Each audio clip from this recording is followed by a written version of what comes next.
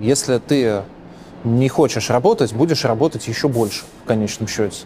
Вот, к сожалению, правда в том, что когда ты пытаешься, даже не за счет своих денег, а за счет денег банка, а, отдав их кому-то, кому банк бы их никогда бы не отдал, то есть банк их предпочитает почему-то отдать тебе за 20 там, с чем-то процентов годовых, а вот ты считаешь, что ты умнее этого банка и отнесешь эти деньги к каким-то другим ребятам, и эти другие ребята сделают тебя богатым так, чтобы этот, ты э, смог э, уже никогда в своей жизни больше не работать. Вот люди, которые мечтают никогда в своей жизни больше не работать и получать деньги от того, что они такие хитрые, вот банк не догадался, а они догадались. К сожалению, всегда зачастую работают потом еще больше. Работать э, все равно и зарабатывать придется в конечном счете ну, на работе или в своем деле, которое ты делаешь. Но вот э, не путем э, поиска каких-то волшебных людей, которые тебя сделают богатым.